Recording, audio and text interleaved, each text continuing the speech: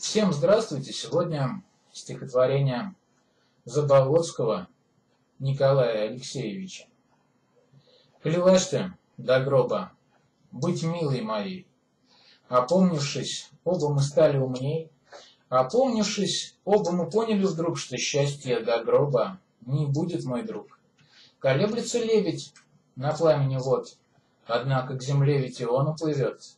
И вновь Одиноко заблещет вода, и глянет ей в око ночная звезда.